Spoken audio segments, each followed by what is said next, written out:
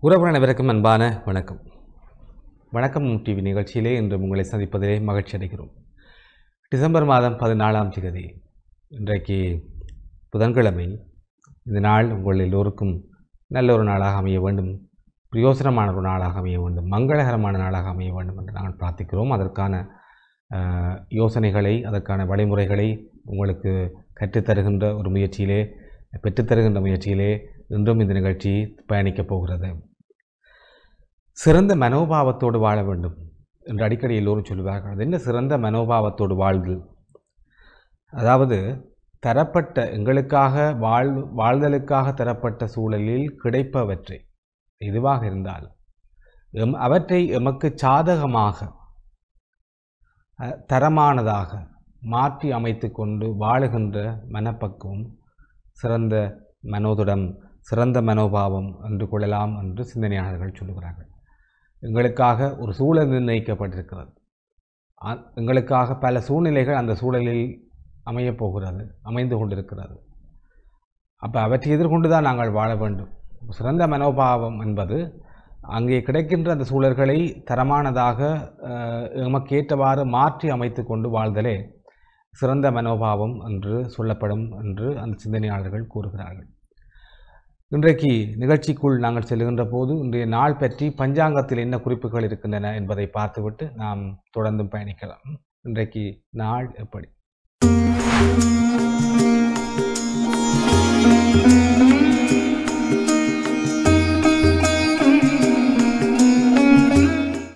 இன்றைக்கு டிசம்பர் மாதம் பதினான்காம் திகதி தமிழுக்கு சுபகிருது. கார்த்திகை இருபத்தி எட்டாவது நாள்.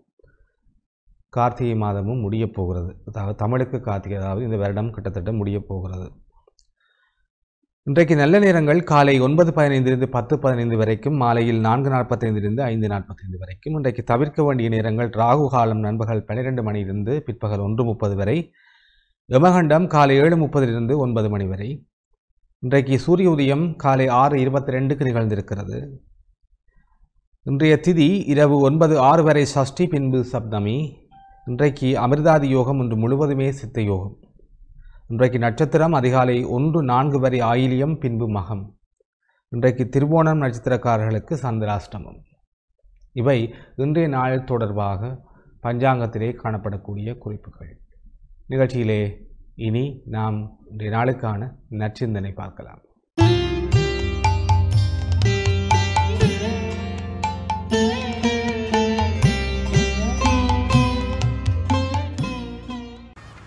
ஓம் சுவாமியே சரணமையப்பா. வாக்குண்டாம் நல்ல மனமுண்டாம்.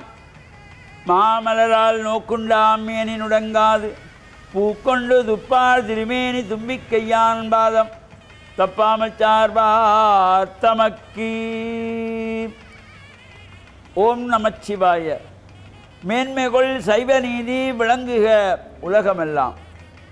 நோயற்ற வாழ்வே குறைவற்ற செல்வம். அந்த நோய் நொழி இல்லாத வாழ்வு இந்த உலக மக்கள் எல்லோரும் வாழ வேண்டும் என்று கலியுகத்தின் காந்தமலை ஜோதியாகிய சபரிமலை சுவாமி ஐயப்பனுடைய திருவடிகளை சிறந்தாழ்த்தி டேன் தமிழொலி ஓம் தொலைக்காட்சி நேயர்கள் அனைவருக்கும் சர்வதேச இந்து மத குறிப்பிடம் அகில இலங்கை சபரிமலை ஸ்ரீ சாஸ்தாபுரத்தின் சார்பில் இனிய வணக்கங்களும் நல்லாசிகளும்.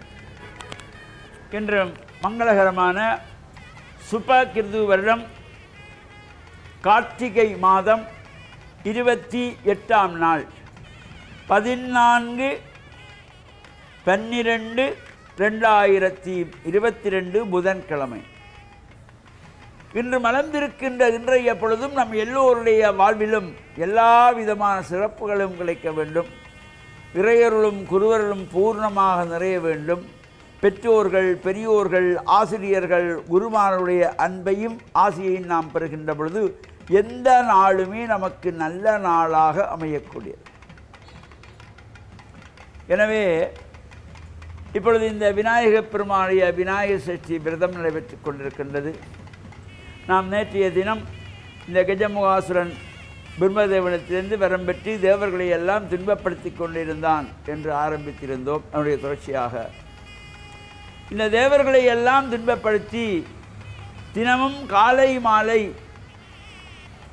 தனக்கு முன்னாலே வந்து கைகளை மாறி பிடித்து மூன்று தரம் தலையிலே குற்ற வேண்டும் என்று கட்டளை போட்டிருந்தான். அந்த கஜமுகாசுரனுக்கு பயந்த தேவர்கள் எல்லாம் கைகளை மாறி பிடித்து மூன்று தரம் தலையிலே குட்டினார்கள் இப்பொழுது நாம் நடைமுறையில் பார்க்கிறோம். பல பேர் அவ்வாறு புரியாமல் கைகளை மாறி பிடித்து குட்டுவார்கள் கைகளை மாறி பிடித்து விநாயகரை கும்பிடக்கூடாது.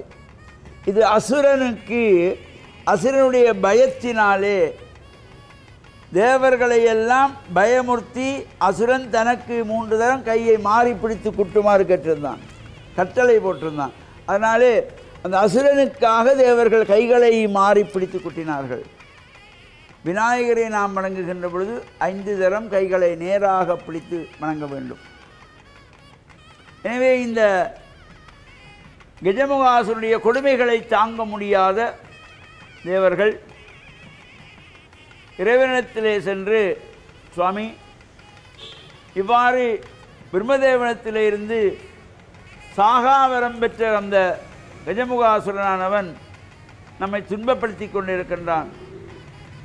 தேவர்களை எல்லாம் அடிமையாக்கி வைத்திருக்கின்றான்.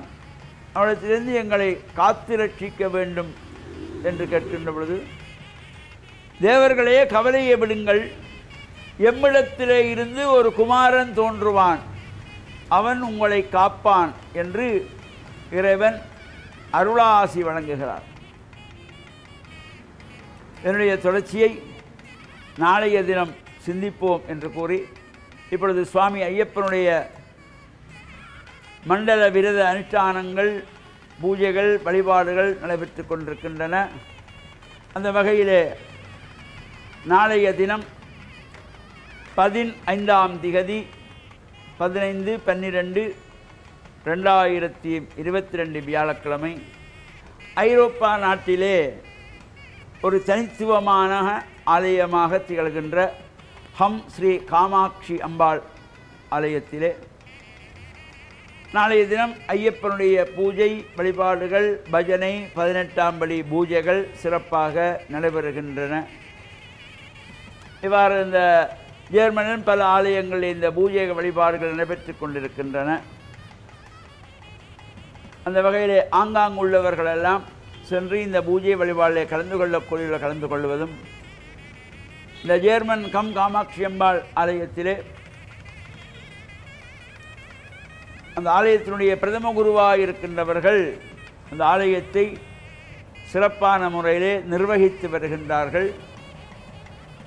ஒரு தனித்துவமான ஆலயமாக மிளர்கின்ற கம் காமாட்சி அம்பாள் ஆலயத்திலே நாளை மாலை சபரிமலை ஐயப்ப சுவாமியினுடைய விசேஷ பூஜை வழிபாடுகளிலே அடியேனுக்கும் கலந்து கொள்ளுகின்ற பாக்கியம் கிடைத்திருக்கிறது. அந்த வகையில் இந்த பூஜைகள் கலந்து கொள்ளக்கூடியவர்களுக்கும் ஏனைய ஐயப்பன் மண்டல பூஜை நடைபெறுகின்ற இடங்களிலே கலந்து கொள்ளுகின்ற அனைத்து ஐயப்ப சுவாமிகளுக்கும் அடியார்களுக்கும் சபரிமலை வாசனாகிய காந்தமலை ஜோதி சுவாமி ஐயப்பனுடைய திருவிழெல்லாம் நிறைவேறும் என்று பிரார்த்தித்து டான் தமிழொலி ஓம் தொலைக்காட்சி நேயர்கள் அனைவருக்கும் சர்வதேச இந்து மத குருபுடம் அகில இலங்கை சபரிமலை ஸ்ரீ சாஸ்தாபுரத்தின் சார்பில் நல்ல ஆசிகளை கூறிக்கொள்வதில் மன மகிழ்வு கொள்கிறோம். சர்வே ஜனாகாம் சிகினோ பவந்தோ சமஸ்த சன்மங்களானி சுபம். இன்றைய நச்சிந்தனை உங்களுக்காக வழங்கியவர் சர்வதேச இந்து மத குரு பீடாதிபதி ஆன்மீக அருள்யோதி ஸ்ரீ ஐயப்பதாச சாம்பசிவ சிவாச்சாரியார். நிகழ்ச்சியிலே தொடர்ந்து நாம் இன்றைய நாளுக்கான திருக்குறள் ஒன்றையும் அதன் பொருளை அறிகின்ற முயற்சியிலே ஈடுபடுவோம்.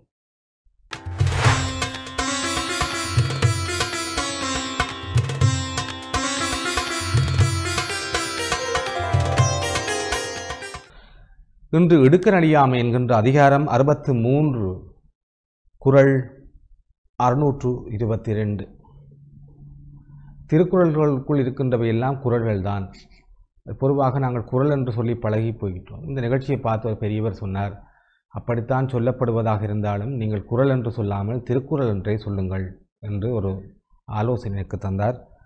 அதை அவ்வப்போது நினைவு கூர்ந்து பின்பற்ற வேண்டும் என்று மனது சொல்கிறது. எனவே அறுநூற்று இருபத்தி ரெண்டாவது திருக்குறள். வெள்ளத்து அணிய இடும்பை அறிவுடையான் உள்ளத்தின் உள்ள கெடும். வெள்ளம் போல அளவற்றதாய் வரும் துன்பமும் அறிவுடையவன் தன் உள்ளத்தினால் அத்துன்பத்தின் இயல்பை நினைத்த அளவ அளவில் கெடும் என்று. எங்களுக்கு ஒவ்வொருடைய வாழ்க்கையிலே ஒவ்வொரு சைஸில் ஒவ்வொரு அளவில் துன்பங்கள் வந்து கொண்டே இருக்கும்.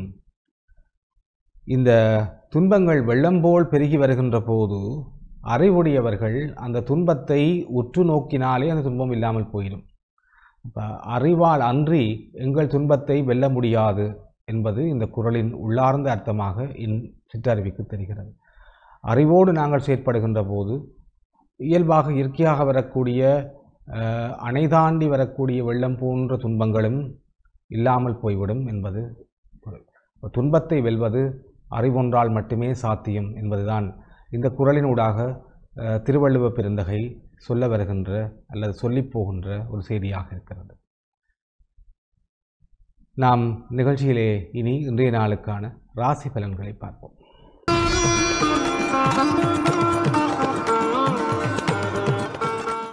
இன்றைய நாளுக்கான ராசி பலன்களை பார்க்கின்ற போது மேஷராசிக்காரர்களுக்கு வரவு நிறைந்த ஒரு நாளாகவும் ரிஷபராசிக்காரர்களுக்கு அமைதியான நாளாகவும் மிதுன ராசிக்காரர்களுக்கு பயம் என்கின்ற உணர்வு மேலோங்கக்கூடிய ஒரு நாளாகவும் கடகராசிக்காரர்களுக்கு உற்சாகத்தை தரக்கூடிய ஒரு நாளாகவும் சிம்ம ராசிக்காரர்களுக்கு அமைதியான நாளாகவும் கன்னி ராசிக்காரர்களுக்கு இன்பம் நிறைந்த நாளாகவும் துலாம் ராசிக்காரர்களுக்கு உறுதியான ஒரு நாளாகவும் விருச்சிக ராசிக்காரர்களுக்கு தனம் வந்து சேரும் நாளாகவும் தனுசு ராசிக்காரர்களுக்கு பாராட்டுகள் வந்து குவியும் நாளாகவும் மகர ராசிக்காரர்களுக்கு நற்செயல்களை செய்யக்கூடிய ஒரு நாளாகவும் கும்ப ராசிக்காரர்களுக்கு பக்திபூர்வமான ஒரு நாளாகவும் மீன ராசிக்காரர்களுக்கு மேன்மையான நாளாகவும் அமைகிறது. நாங்கள் தொகுத்து பார்க்கின்ற போது மிதுன ராசிக்காரர்கள் மற்றும் ரிஷப ராசிக்காரர்கள் ஓரளவு இதை இந்த நாளை நிதானமாக கடக்க வேண்டியவர்களாக இருக்கிறீர்கள். ஏனையவர்களுக்கு இந்த நாள் சிறப்பான நாளாகவே தெரிகிறது.